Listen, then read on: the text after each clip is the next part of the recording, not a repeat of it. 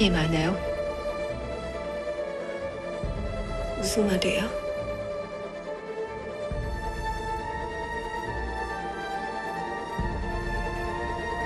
임신이네요.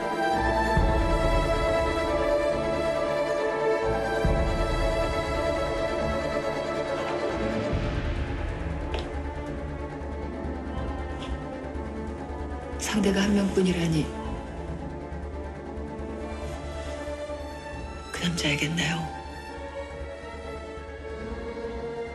고민되겠어요, 유부남이라서. 그러니까 결혼했다는 건 골치 아픈 거예요.